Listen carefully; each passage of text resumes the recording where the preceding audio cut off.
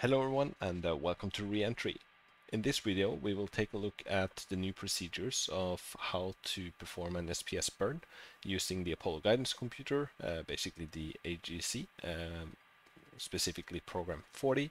Um, and we're going to use that to plan and execute a full burn. So we are going to use uh, the more realistic uh, approach and procedures to executing the the burn today.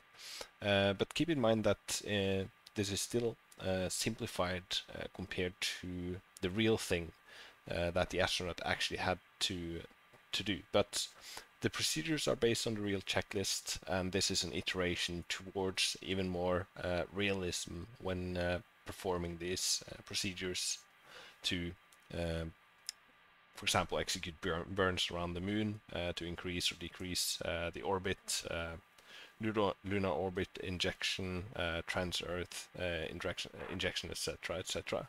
So uh, with that in mind, uh, let's just get started.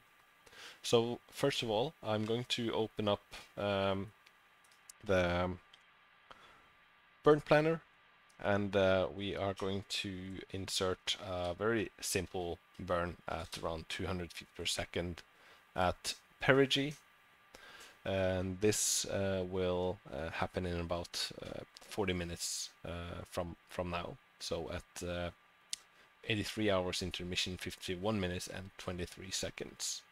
So with the burn plant I can hit uh, request and I would receive the pad. So the first thing that you need to do when you want to execute an SPS burn in re-entry is to uh, run program 30. So on the AGC, we are going to uh, insert verb uh, 37, hit enter, and then 30. And this will basically tell me uh, uh, the ignition time, and you can see that this has already been configured to uh, what we requested in the burn planner. So 83 hours, 51 minutes, and 23 seconds intermission and we have uh, planned a delta V of 200.0 uh, feet per seconds. I'm going to hit Pro, and uh, program 30 will now calculate the resulting orbit um, once we're done with the burn. Uh, this is obviously just an estimate, and there's factors involved that uh, could make you know the the burn itself deviate from these values. But it's a good indication, and I'm going to just uh, hit uh, Pro. So now you can see that we're now counting counting down. We're at uh, T minus 37 uh, minutes and uh, 33 seconds from burn. So I'm just going to keep this uh, thing on uh, for a little bit and I'm going to show you the new checklist that I have added to the game. And it's a new section called thrusting and you can see guidance and navigation, SPS thrusting, this is P40. And if I now open this one, uh, you can see that there's a whole set of procedures that requires me to get into program 40 and then um, set up the panels and run some tests and basically get everything prepared for the burn itself. Uh, I will be following this uh, checklist as far as uh, I can, but uh, obviously I will be speaking and uh, walking you through some of these procedures at the same time, so some things might deviate a little bit. Uh, in addition, I've um, added the run feature for this checklist, so you can go ahead and hit run to actually uh, uh, get some guidance through this checklist as well. So I'm going to do that. I'm going to hit run. You can see that the checklist guidance system is now uh, popping up on the UI here. So um, with that, I'm going to uh, very quickly uh, on the EMS uh, set uh, the burn to 200 and I'm going to leave it into standby and if I re remember it before the ignition I'm going to hit that uh, switch and put it into normal together with uh, as a backup to my uh, burn. So this is the pads. Um, uh, nominally, uh, you could go in here uh, into crew members and um, uh, pads, and then we could open, for example, um, the the pads for executing burns uh, and so on, if you want to. But for now, I'm just going to use this data here. Um, I'm not going to need uh, too much of it because most of it has already been been set up from uh, using the burn planner. So with that, I'm just going to go ahead with the checklist. We're at T minus 35 uh, minutes from ignition. So first of all, it's just some prerequisites. Uh, feel free to go through them as well if you need to. And then um, on the tracker here, uh, I can hit that zero uh, uh, switch if I want to, if you want to go ahead and use the optics and uh, uh, those things. Uh, but for now, I'm just going to skip that. So um, now I'm going to, first of all, um, time scale a little bit closer to the burn itself to, let's say, 20 minutes. There we go. And I'm going to hit Pro. The, the first thing that uh, we uh, want to do before I dive into uh, going into program 40. Uh, so first of all, I'm just going to follow the checklist here and go into um, 0, 0. Uh, and then um, I'm going to make sure that the uh, ORDEAL is set to iner uh, inertia. We don't need that. Uh, and then um, before I actually go ahead uh, with program 40, uh, I wish to do oh, one more thing, and that's uh, to run program 52.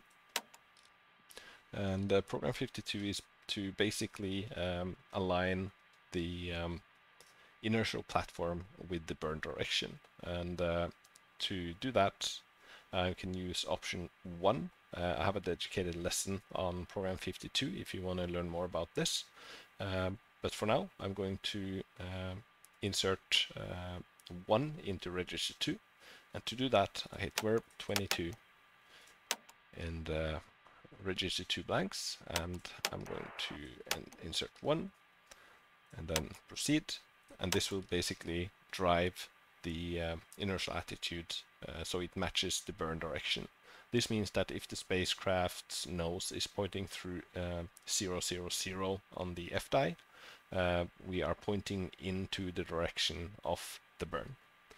Uh, the next thing I want to do is uh, to also run uh, verb 49.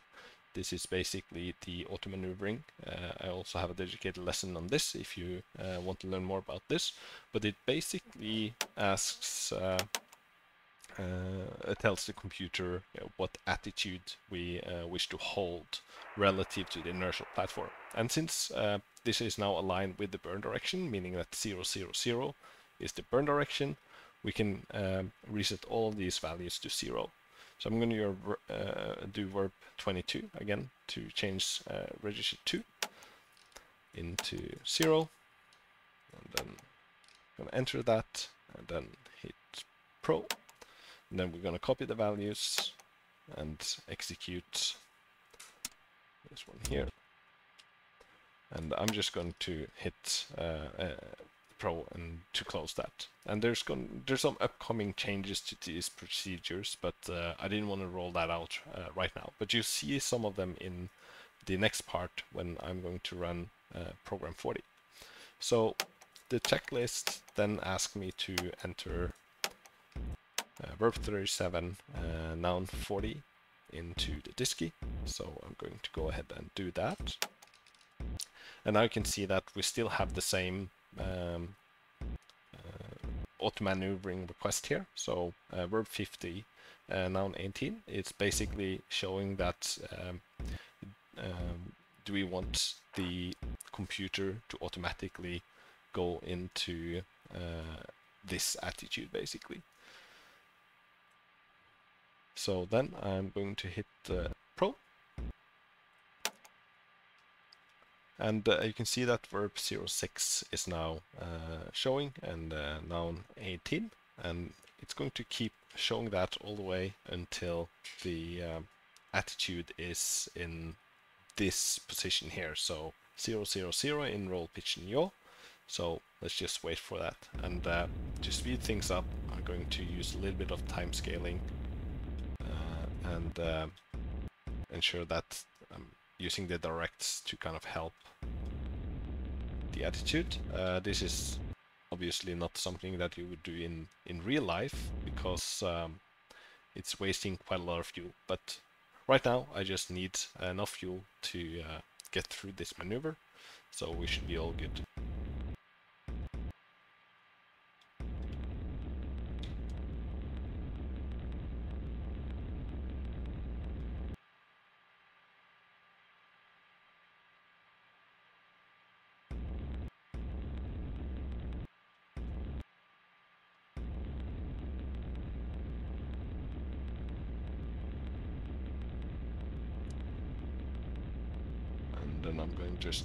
Rotations here and get into roll.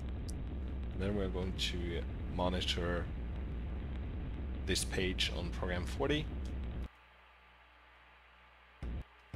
as we get into the final attitude. So now I'm just going to let the um, uh, computer uh, guide us to the correct attitude.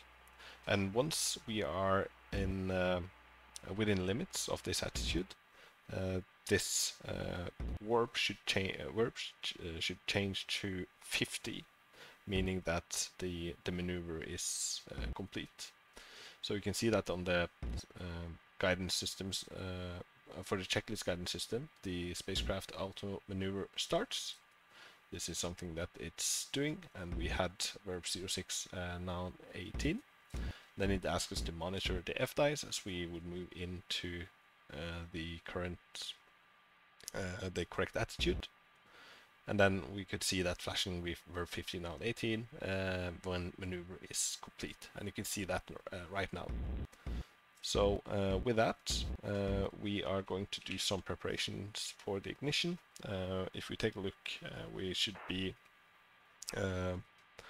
uh, the burn is at 83 hours 51 uh, minutes into the mission. So we have some time. Um, so let's just go ahead and uh, do the ignition preparation. So I'm going to go through this checklist quite fast. Um, uh, for those who uh, know the Apollo systems this should all be fami familiar.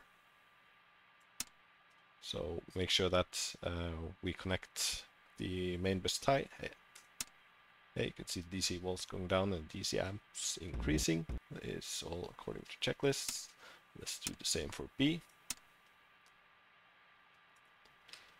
And then um, we have the SPS helium, helium valves. They're all bar Barber and uh, they're set to auto, so they should automatically open once ignition is commanded. And Let's also disable this as we're going to do some tests uh, pretty soon.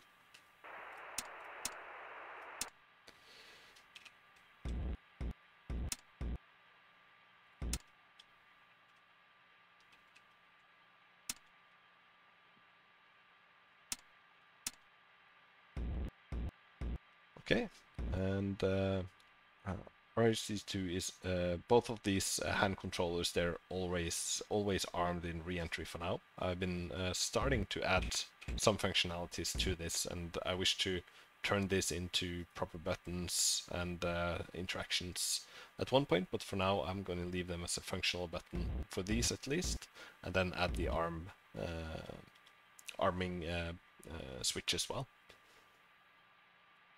So. Um, in order to um, control attitude during an SPS burn, um, we have, um, it's completely dark outside right now, but there's an engine in the back and it has a gimbal that allows it to uh, kind of uh, pitch and yaw the uh, engine uh, to, uh, to kind of uh, steer the spacecraft uh, as we burn.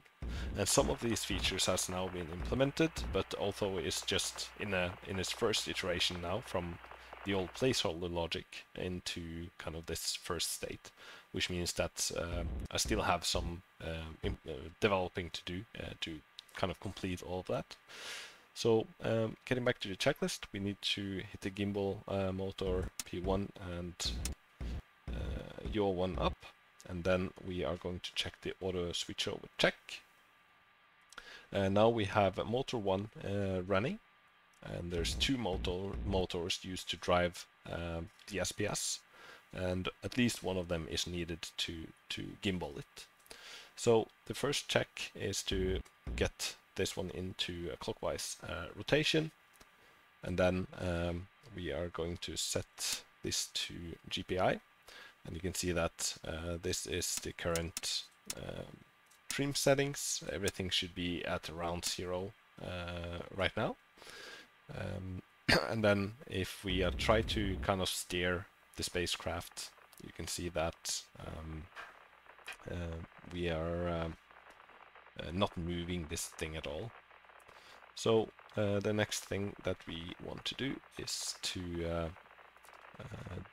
do TV secondary TVC check. This is basically running um, engine 2.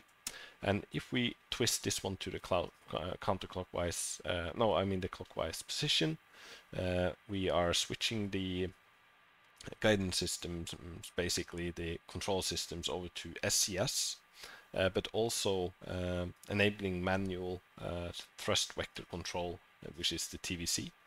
And um, that requires engine 2 to be, be running.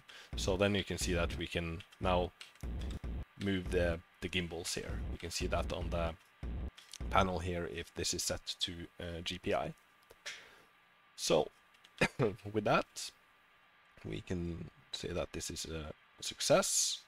Then we're going to switch this back into neutral, and I can hide those function buttons.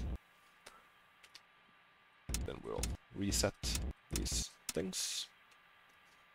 And then we are going to hit uh, Pro, and this will um, repeat basically uh, the uh, maneuver request. I can hit Pro again. You can see that it then repeats it.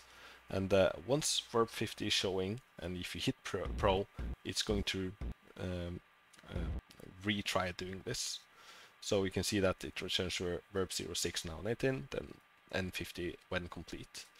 Uh, in order to get away from this, uh, I've changed the procedures program 40, so then we are going to hit enter. The next thing uh, which we are going to do is to do the uh, gimbal test, uh, drive test and uh, this is going to move the gimbal engine in a specific pattern. So then I'm going to hit Pro. You can see that the gimbals is now being moved. That's pitch, and then yaw, plus 2 degrees, minus 2 degrees, and 0. And uh, you can see that this pattern, and it is automatically then going to proceed to a noun 40 when complete. So this is the pattern. You can see flashing verb 15 on 25, uh, checklist 204. This is the gimbal uh, drive test. Hit Pro to accept it. Uh, you could skip this. You, if you would hit Enter here, it would be uh, would skip it and go directly to to this page here. And right now, uh, you can see that we're um, seven minutes away from from ignition. So let's hit Pro on that. Then we uh, should time scale to two minutes, but since I will be talking, I will just go ahead and, and complete uh, all the steps uh, in the checklist uh, right now. So the next thing that we want to do is to uh, uh, arm this SPS engine, and I'm going to do both of them. So you can see that these switches are now pointing up, meaning that um, the SPS is armed. When the SPS is armed um, and we get an ignition command to the SPS, um, these ones will rotate.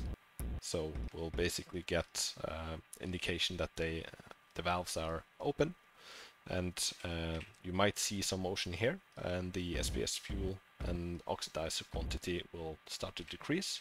There might be some uh, oxidizer imbalance uh, uh, there as well, but this one can be then increased or decreased to balance the mixture um, as you go. This is not directly implemented, but there's some logic that uh, drives it uh, based on uh, it using more or less oxidizer compared to fuel, and this could get into an unbalance.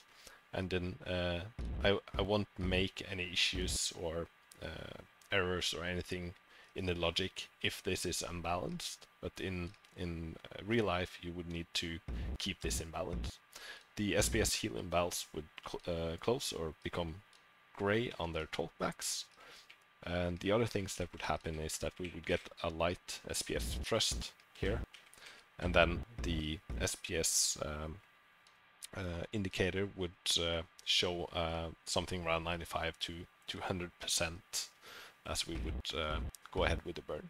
So with that, we have now set up most of the things uh, according to the pad here. So I can just go ahead and close that as we're getting closer and closer to the burn.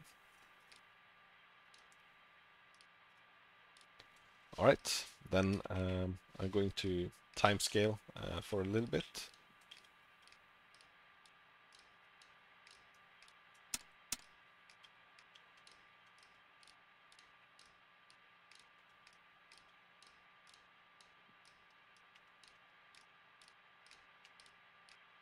There we go. Then I'll leave it, uh, give it some time to get back into attitude after time scaling. Uh, we have the EMS all configured. So with that, I can just go ahead and uh, set that to normal. Now we can see that uh, at t minus 35 seconds the DSKY clears and uh, we have a couple of switches to press. And then um, if you want you can go ahead and perform an uh, uh, before uh, the burn. Uh, this is not needed in re-entry but uh, we could go ahead and hit those thrusters and then hit pro there we go. Ignition, and uh, you can now see that this one uh, is uh, on, uh, on around 100. This light is illuminated, and we have these SPS injector uh, valves open. They're now closed, and the SPS helium valves return back to barb pole. We have zero uh, on the SPS gauge. We have um, this burn uh, kind of completed in the EMS and uh, this uh, checklist guidance system will then go through all of these things obviously. Uh, so we have the uh, thrust light and things will be counting counting down and uh, basically go through everything that I just told you. Then we would monitor the SPS engine for cutoff and then once we had the cutoff, we saw that these things were, the SPS thrust light would be out. And uh, we are at uh, 40, indicating uh, uh, engine cutoff. You can see that verb 06 has changed to uh, verb 16, indicating the cutoff. So that means that we can go ahead and uh, shut down the, or disarm the um, SPS. Then we would verify a couple of other things as well.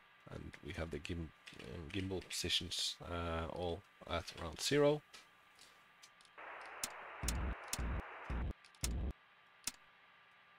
And then uh, we can turn off the uh, SPS uh, gimbal motors as we uh, no longer need them.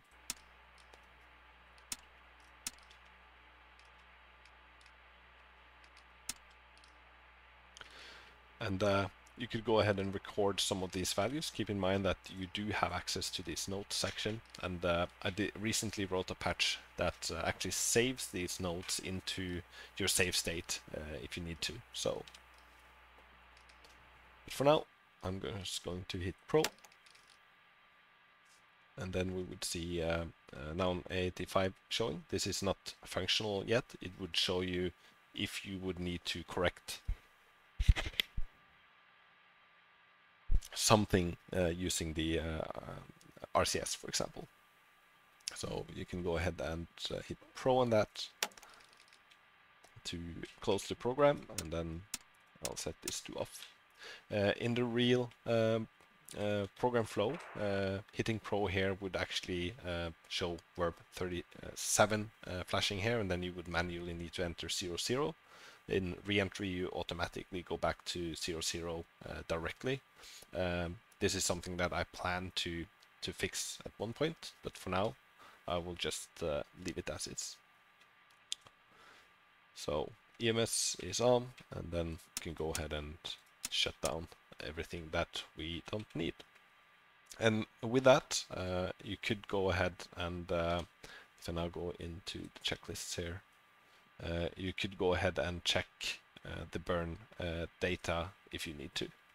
So I think that that was um, something that you could do directly from from program 40 in real life, but for in reentry, uh, I can do it here. So it was uh, 82, and it would basically uh, show me similar values to what we planned before executing the burn. So we're now at an orbit of 8 nautical miles of altitude perigee and 224.0 uh, nautical miles of altitude of uh, apogee. So that's fine. I can then uh, go ahead and um,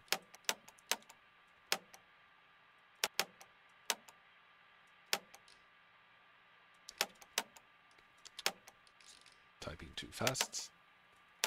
There we go.